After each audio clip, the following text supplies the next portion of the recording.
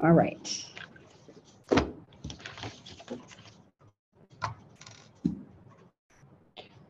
This is on tort claims. Ah, For the record, the scope of this case, although it involves a general act of Congress, is geographically constricted. The holding is applicable only to actions under the Federal Tort Claims Act arising out of wrongful death in Massachusetts. The court, finding the words Federal Tort Claims Act so clear, reverses the judgment of the Court of Appeals, which has special responsibility for interpreting federal law in matters unique to its circuit.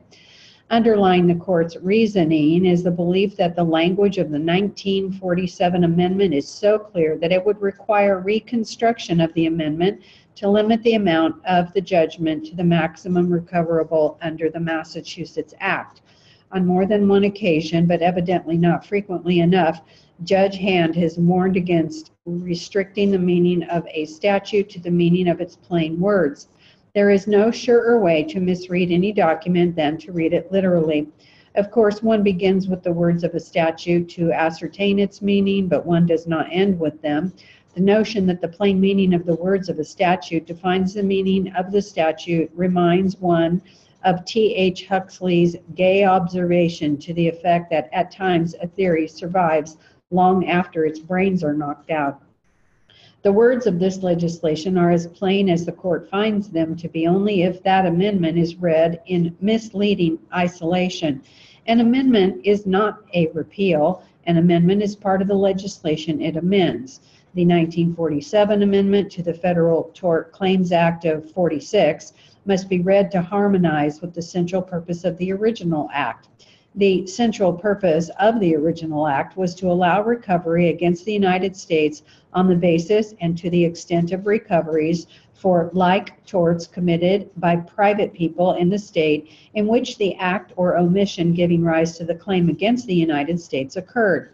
The amendment filled the gap, a very small gap that was disclosed in the scheme formulated by the former act.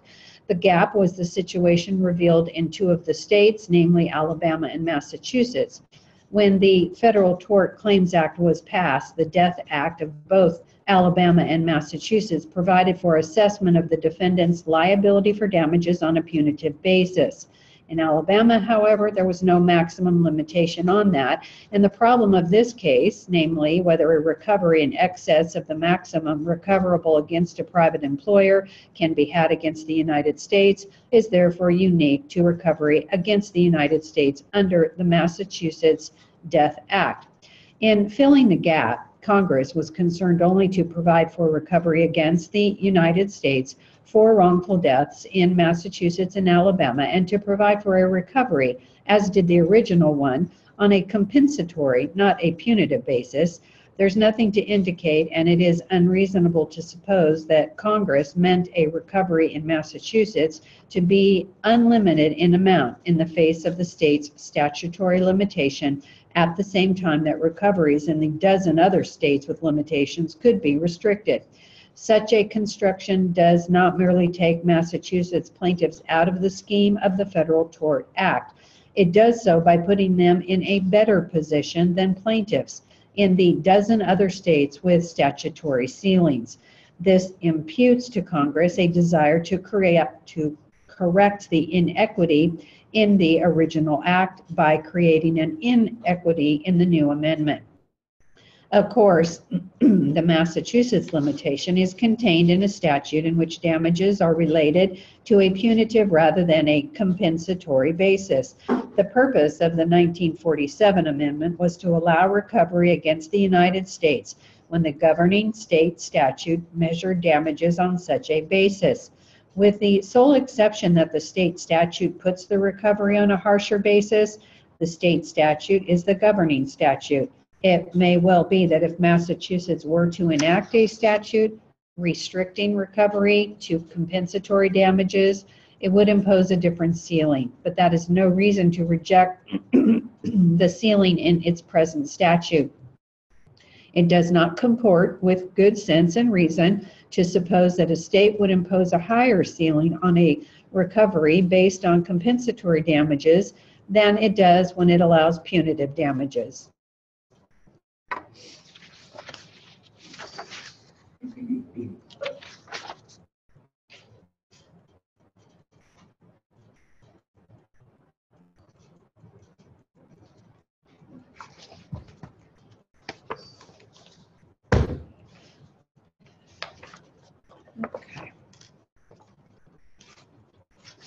Okay,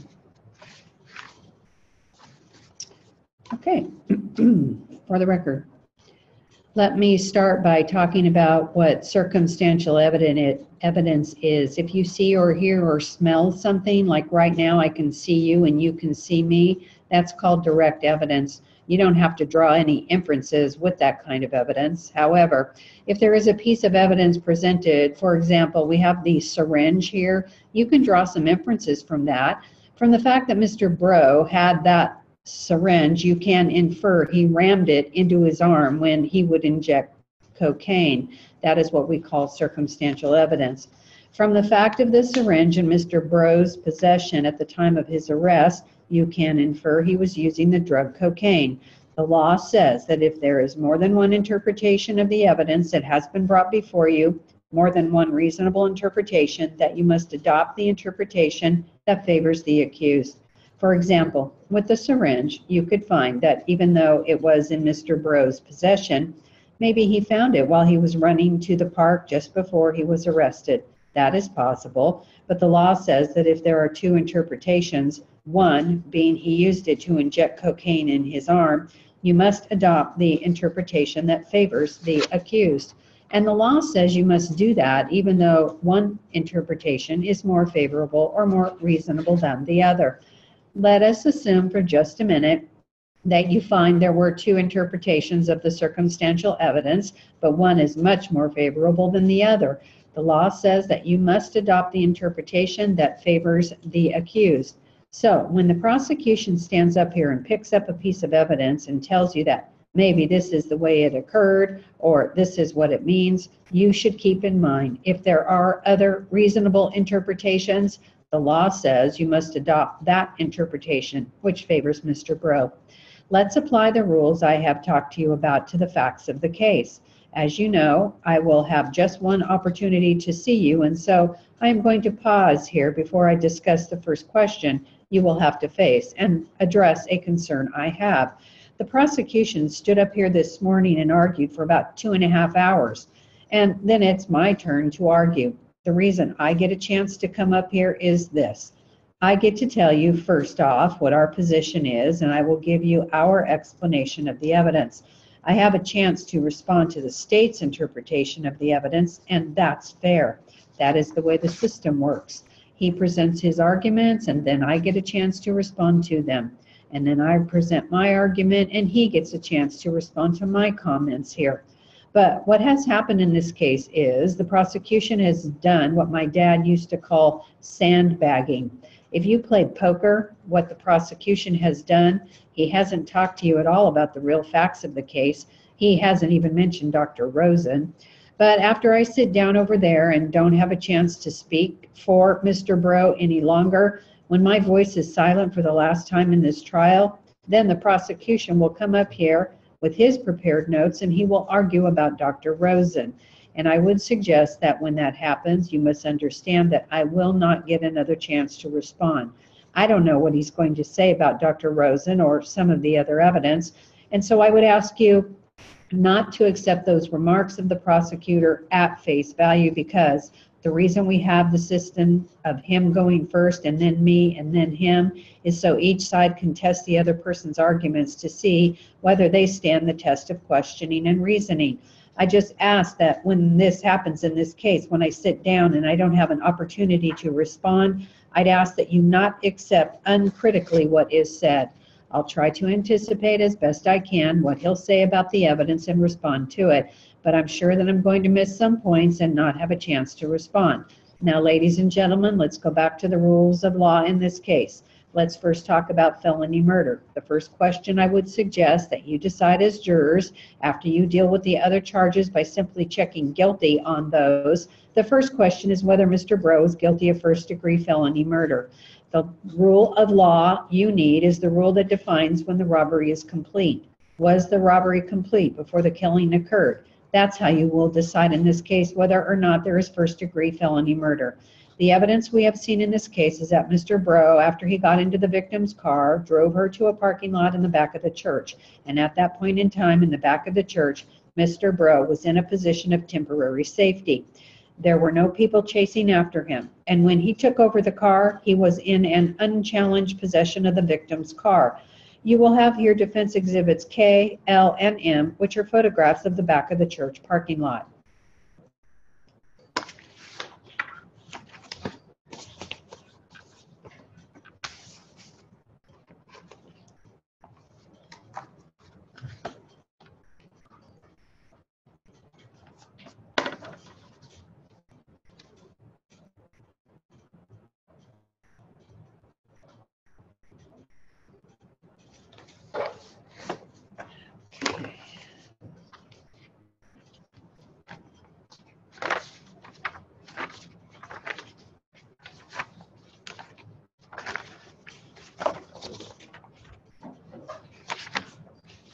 Okay. For the record, if I may interrupt for just a moment, I haven't had time to read the Lily Bridge case, but under Maynard, we are dealing with a somewhat different factual situation here. In that situation, if you have had time to read it, two doctors had been appointed by the court. The doctors, Miles and Allen, were appointed to confidentially assist the defense. Thereafter, the defense entered a plea of not guilty by reason of insanity. The court reappointed those same two doctors to report back. The defense never attempted to recall those two doctors as defense witnesses. The defense never undertook any acts which could be in any, any way viewed as being a waiver of the privilege. The Supreme Court held in this case that in the absence of a waiver of the privilege, and in fact, when the defendant affirmatively asserted the privilege, it was error by the court to compel those two psychiatrists to testify. In our present situation here, you are proposing to the court to utilize Dr. Wing, who was immediately appointed confidentially to testify, as I understand it, until now on a limited area, or to present an opinion on a very limited issue concerning the defendant. There has been no not guilty by reason of insanity plea entered at this time. The question before this court is whether or not there can be such a thing as a limited waiver of the privilege. In the Lily Bridge case, they talked about privilege applying unless it is waived. It is your contention, counselor, that the Lily Bridge case discussed that issue of a limited waiver, or do you have any authority for the proposition that there is such a concept under the law as a limited waiver of privilege? There is no question that privilege does apply here. I'm not challenging that at all. And there is absolutely no question that if you were to decide not to put the doctor on the stand, there is no way that the people can ever have access to the report. But my question to you is once you put the doctor on the stand, once you ask him questions concerning his opinion of the defendant, which opinion, by the way, was based in part upon the confidential communication between you and the client, upon the psychotherapist privilege, privilege communications between your client, the doctor directly, then how are the people going to able to effectively act? Let me reword that. How are the people going to be able to effectively cross-examine the witness if they're only going to be allowed to see the tip of the iceberg? Now, I know that it is too narrow a view to just focus on the written report. The ultimate question is to what extent may the prosecution inquire whether it is a question of discovery of written documentation or whether it is a question of the doctor's opinion. The real question is if you open the door to all aspects of the doctor's opinion and all of the information provided to him, whether that be done orally in this court or in writing. The people may be at a disadvantage by not getting their hands on the written report if it exists. But the question is, can they still inquire by virtue of the waiver of that privilege that is to be deemed a total waiver into all aspects of the doctor's investigation and formulation of his opinion? Now, granted, you can prevent them from getting a written report by preventing that document from coming into evidence. But the prosecution can certainly inquire of the doctor as follows. How did you form your opinion? Or they may ask, did you form your opinion based on the information that was provided to you? They may cross-examine the doctor too. If you are going to examine an expert and then the expert presents his opinion, you have to know that this opinion was relied upon and can be cross-examined by the other side. Counsel, I think the information becomes public knowledge because you are choosing with the consent of your client to put that doctor on the stand.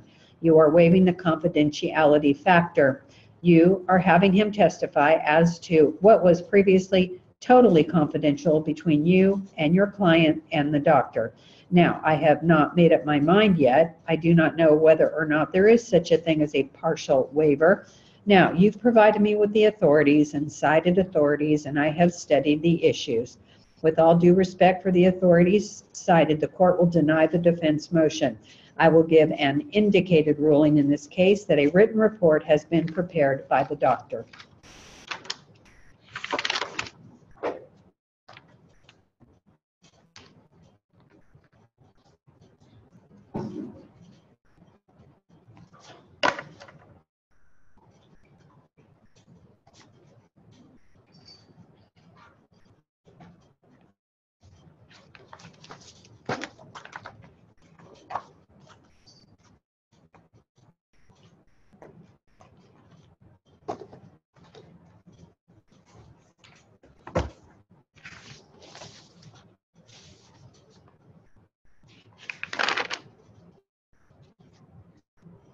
Okay. Let's do a few more minutes. For the record. Members of the jury, this is an action in which the plaintiff seeks to recover damages for the death of her brother on the ground that she represents those next of kin who were dependent upon him in his lifetime. Some years ago, the legislature of this state provided for the bringing of this kind of an action. Such a right of action did not exist prior to the passing of that law, but under the law as it was adopted and which now exists, an action may be brought by the next of kin to recover against a defendant through whose negligence the death of the relative was caused. But the law limits the kind of a recovery. In other words, the law permits no recovery for grief or sympathy or emotional reason. The law points with a cold-blooded finger at the liability and says that if this man or corporation is liable, it's liable only to the extent of the money value that the decedent was to his relatives, as the case may be. The evidence in this case shows that he did contribute in his lifetime to his sister, who was a witness on the stand, and that he paid her $75 and sometimes $80 a week and helped her with her rent. She testified that she was a married woman, that her husband was very sick at the time, and that the brother helped her with her rent and other support. The plaintiff brings this action on two theories one, negligence, the other, what we call a nuisance. In discussing the first, negligence in a death case such as this, all that the plaintiff is obligated to show by a fair preponderance of the evidence is facts which would go to establish the condition that the man's death was brought about solely through the negligence of the defendant. Negligence can be a careless act. Likewise, it may be a careless omission to do something that a person would be bound to do if he acts as an ordinarily careful and prudent person. As to any contributory negligence on the part of the deceased, there is no obligation on the part of the plaintiff to establish that. That duty is on the defendant if he can show it. The other theory on which this action is brought is nuisance, and nuisance is defined this way. Let us take this kind of example. Suppose in this courtroom, on the main floor, there were on the main floor leading to the main entrance a vault covered with a door. Obviously, by reason of the nature of the building and the number of people that walk in and out of this building daily, the public authorities would be charged with diligence to see that the cover of that vault was not only substantial, but safe. And if it got into a poor condition and shook in any way or gave any evidence of insecurity, the city would be charged with knowledge of that if it got direct notice. And if it did not get direct notice, it might be charged with knowledge and notice in the form we call constructive notice. And that is that after a condition such as that exists for a certain length of time, which would be sufficient for the public authorities to discover if their agents were reasonably diligent and observant, and they do not then correct it, then the law would charge those public authorities with negligence in maintaining it or maintaining a nuisance, and for their failure to correct it after a reasonable time had passed. If anything happens to that and the person is injured, they could be charged in law with having maintained that nuisance because that was part of the surface on which people walked and which they had a right to anticipate was safe and sound and properly maintained and inspected. In this case, the evidence shows that this man was seen on the eighth floor of the warehouse, that he was putting packages of some kind on a hand truck, which had four wheels on it, and he was about 25 feet from this elevator, which was the eighth floor.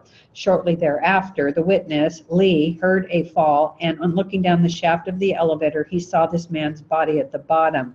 Thereafter, he went upstairs and found a truck similar to the one the deceased was using, half on and half off the elevator car, boxes of the cereal strewn on the floor, a chain in the rear, not across the opening, and the car is described as having an 18-inch space between the wall and the rear of the elevator. The evidence shows that the inspector who went there a day or two afterwards or someday inspected the elevator, found it in working order, and described the construction, the same as the other witnesses, being 18 inches from the wall. Whether or not the City of New York inspector filed a violation, it would not relieve the defendant from liability if it maintained a nuisance or if through its negligence in the maintenance of the car, this man was injured. Worm? Yay? Nay? So, so. Okay, let's do, just do, this one is like two minutes.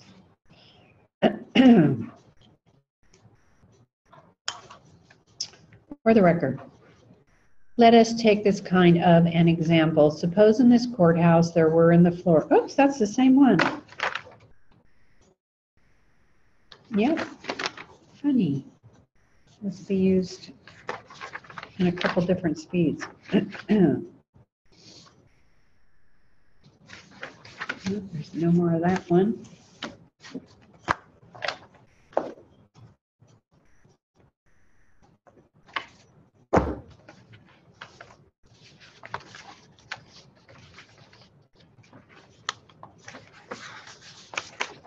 All right, let's, I'm going to repeat.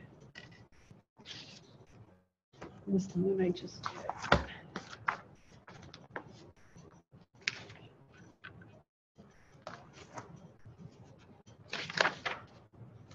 Okay, here's a different.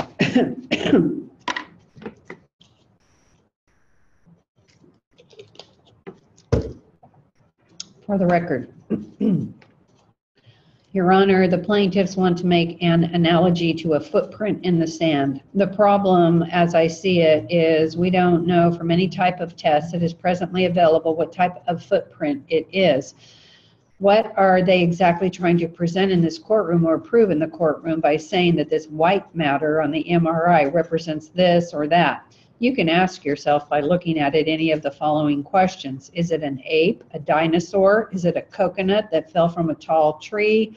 Is it a smudge? Is it some type of ocean wave that splashed incorrectly? If we have sunspots, does that show us something? Don't we have to show the relationship of the sunspots to other things? If we don't, we have no science to back up what we're trying to prove. The plaintiffs are willing to say, see, look, there's a footprint there. There's something there. They say that over and over. They want to just keep making the statement that there's something going on there with this white matter. What does that mean to this case? What value does it have by saying there is something going on? Now, if you can't show that something is normal, that the general community or the doctors would say that is normal, then how can you prove something? What is normal? Nobody knows. I mean to tell you that what is going on here is we're getting science to the point where you're finally going to be able to see every single thing that is going on in the human body. At any time somebody sneezes or something happens, somebody can come in and look and say, hey, I've got proof. There's something wrong here. Something is not normal. Are we supposed to accept that as fact? Well, as we are going through the process of developing the science, we may be able to someday show every single thing that is wrong or not normal. And we'll all be able to say within a every single human being, each human being is different and separate. Don't we already know that? We're all like snowflakes. We're all one of a kind entities. But what exactly does that mean for purposes of the evidence and proving that in a court of law? We clearly saw today the problems in this individual case. That is, that you are using this information on an individual case without doing some type of comparative analysis of groups or looking at and trying to make out some type of average, trying to use statistics with some degree of reliability. In this case, we are handicapped because we don't even have the original data. We don't even know what the protocols were. We don't even know what the parameters were. We found this information when we were reviewing Dr. Kendall's deposition. By the way, he is still at Sloan Kettering. He and Dr. Beschel abandoned the project before Beschel moved to New Orleans. They abandoned the project. They were treating this as even as not even research material. They were not presenting this information to their patients. they were not authoring reports and making reports about it. They were looking at the information, this stuff, and after they were done with it, they got rid of it. They did not even bother to keep it around. The trial argument is where or how did the MRI images ever show up? For the first two years, I only had limited information. Then it was at Dr. Kendall's second deposition that counsel mailed a letter to Dr. Beschel and to the rest of counsel distributing the rest of the images. We finally said something. We said, where did these images come from? Dr. Beschel, as was revealed in her answers to in- interrogatories, gave them to plaintiff's attorney. And then plaintiff's attorney had asked for these images. The plaintiff's attorney gave them to us. Otherwise, we have no record. We can't even go back and get these images from the custodian of records. They don't even have them. So our own experts for the defense are limited. The experts we have are telling us it doesn't really matter to the case at hand. There's no study saying that this information that's coming off the MRIs has any reliability whatsoever for coming to the conclusion that there has been damage to the white matter of the plaintiff's left frontal lobe. Dr. Sherry told us why he came here today. He is concerned about protecting the technology from being exploited and misread.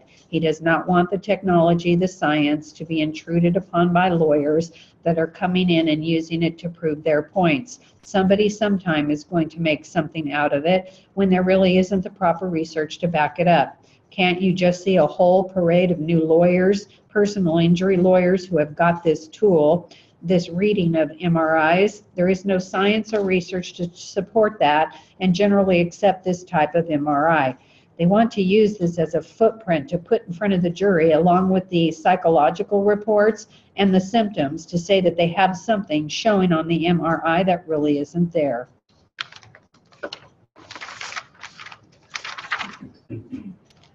Okay, we're going to do takes.